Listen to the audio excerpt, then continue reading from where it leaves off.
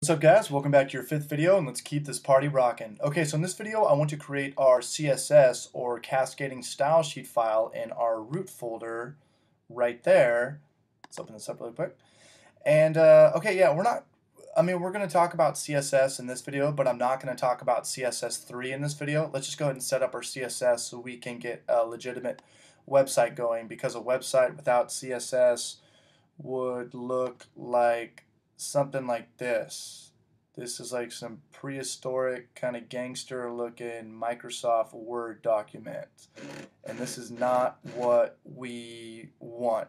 So for those who didn't who do not know what CSS is, CSS is pretty much all the colors and positioning and cool fonts, the font sizes, pretty much anything you can do with a website in terms of its artistic approach.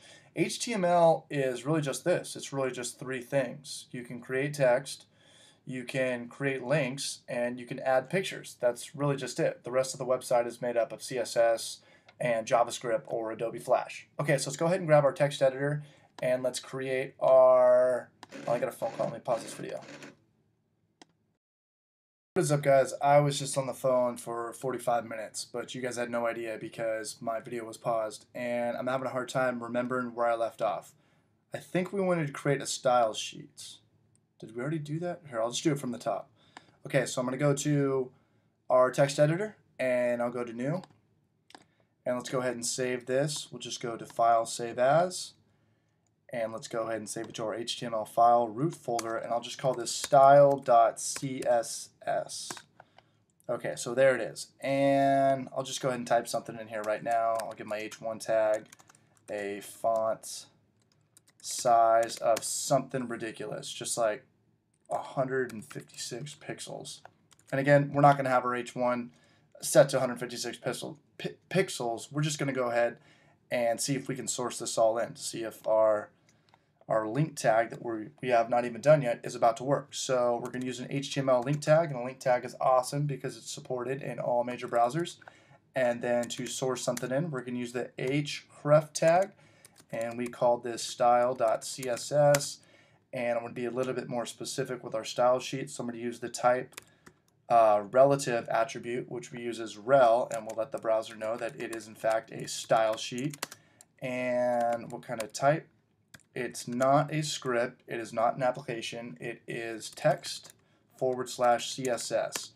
And then for the media, we don't really need this, but um, I kind of like taking the long way home. You guys will notice that as you watch my videos, as I'll always go the extra effort to do the things that uh, probably most people don't. Actually, I don't know. But just go ahead and type media because it's we want, it's for our front end. If we want it for to strictly be for a mobile site, we type in mobile, but that's not the case. So let's go ahead and go with screen.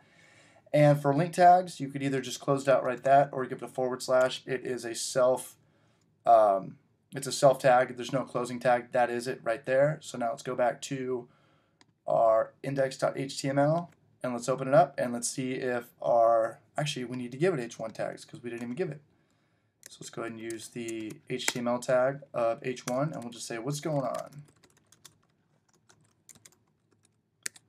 And let's save this.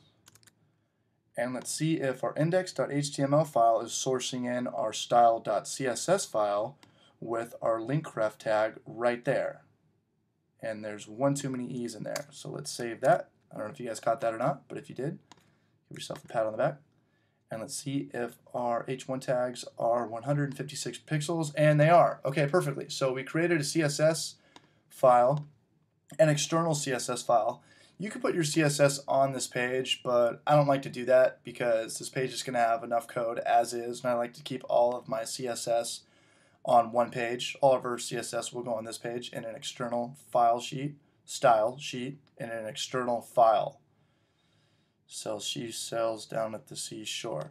Alright guys, well let me know if you have any questions. Hopefully this made sense, and I will see you guys in the next video.